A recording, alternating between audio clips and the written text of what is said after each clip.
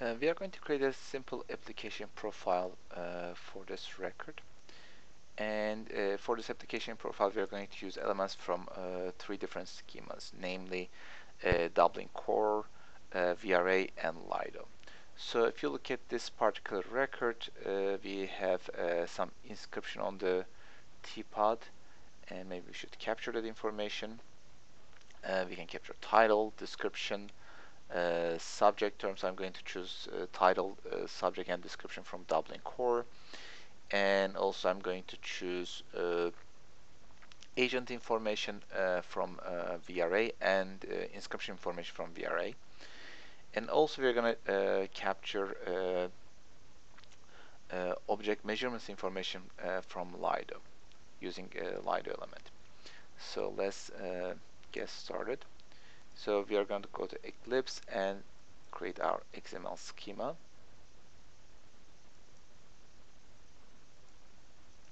And let's call it application app profile.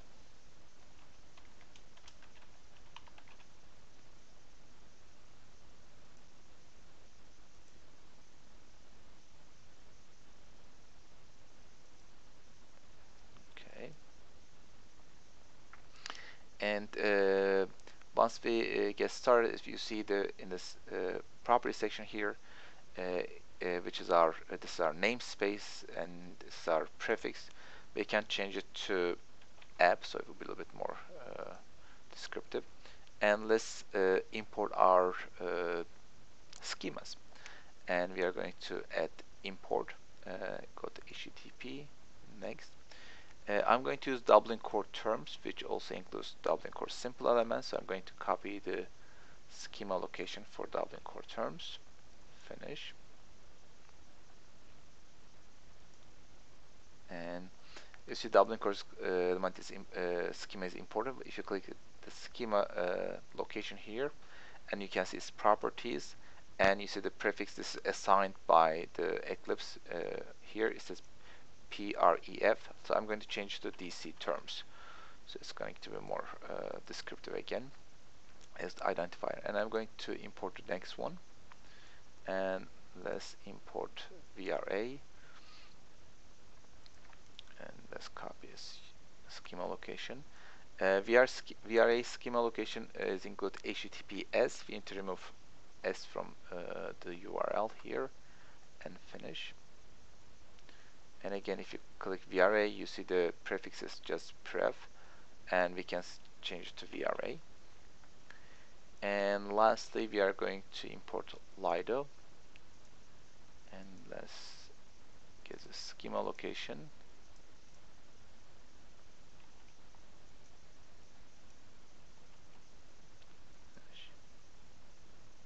And let's see. It's important if you click Lido is set to Lido, so we don't have to worry anything about it. Let's save it. And first, uh, we are going to create a root element. So we need to create our root element. That's called metadata. And since it is going to be our root element, it has to be of complex type. So let's change the type to something that we just made up, metadata type. Now we can start adding those elements to metadata type. First, I'm going to add uh, title, subject, and description from Dublin Core. Uh, since this is an application profile that uses elements from different schemas, we are not going to simply uh, create those elements uh, uh, directly as we did before, but we are going to use element uh, add element reference option here. So when you click here, first it will come up like this because this is the the first element name in the list so by default this comes up but we can change it. And if you go to the again this properties section in the reference area just click this drop down list and click browse. Now we are going to change this element to title element from Dublin Core. Either you can scroll down or you can use search option here if you start typing title if you know the element name. So we get all these elements about title right? This, this is from Dublin core so you can see namespace. This is from VRA this is from VRA this is from Lido. But the one the title element that we are going to use from Dublin core term so let's click OK. Let's change. The second element is a subject again add element reference. And come down here and browse for the element that we are looking for which is subject. So again we are going to use one from Dublin core and uh, description element again from Dublin core.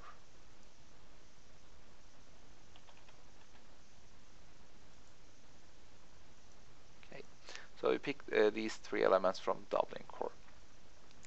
And uh, let's uh, choose uh, agent and inscription elements from VRA again add element reference. So then we need to change this association underscore association element. Browse and you can see we have both agent and agent set again we know from uh, VRA schema that agent set actually serves as a kind of wrapper for agent element so we need to get that agent element with this wrapper so it will be more consistent with the original schema in that regard. So let's get the agent set, which also has the agent element in it. And let's, let's do the same thing for the inscription. Browse. And this time let's scroll down all the way down to inscription. Again, we have inscription, inscription set, and inscri inscriptions wrap.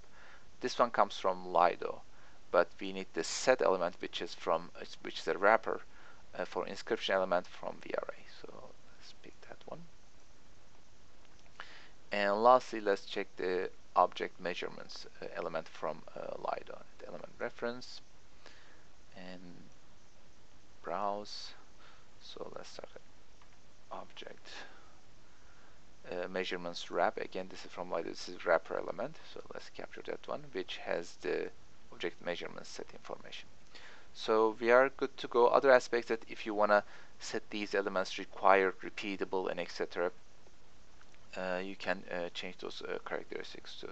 So if you can uh, set multiplicity, so we can say titles. Again, you need to look at this uh, the whole collection, whether you want to make this element required. So for this case, let's make title uh, element required and repeatable, and subject element uh, same thing required and repeatable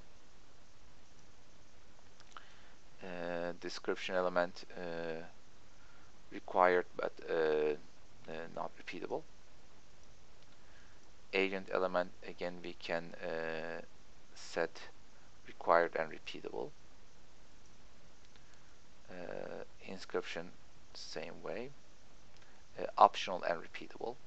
Because some uh, items may not have any inscription on, on them. And objects measurements wrap again uh, sometimes uh, probably should have measurements for all the all these objects so let's make it uh, one or required uh, repeatable. So I think uh, so far so good. So let's save it and let's validate our schema.